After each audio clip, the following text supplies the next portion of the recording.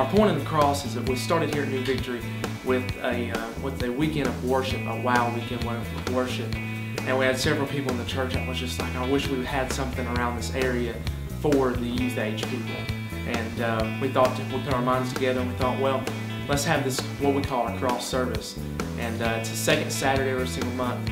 But the cross, what it symbolizes is that we can come together and it's it's one meeting place where we can we can put everything else aside and come together for one reason, and that's to glorify God.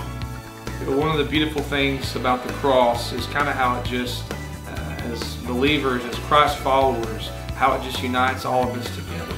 Um, you know, across our denominational differences and across our doctrinal differences, I think if, if there's probably one thing uh, we all agree on, uh, it would be the cross and, and just the, uh, the purpose of the cross and what the cross has done for us. The cross is, represents a bridge, a bridge that bridges the gap between each and every single one of us so we can come together and unite as one for one reason.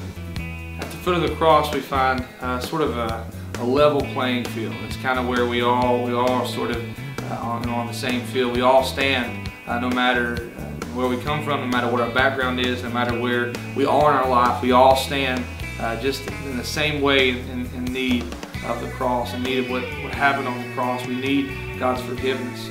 The cross is a great atmosphere for youth age people. We have uh, different speakers and different bands uh, come in and speak and play music.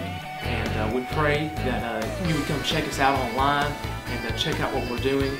And uh, we encourage you to come see what's going on at the. Just a reminder again, we want to invite you out to our cross service here at New Victory. And if you would like any more information, just visit our website at newvictorybaptist.org or follow us on Facebook. And remember, the cross service happens the second Saturday of every month, so we hope to see you there.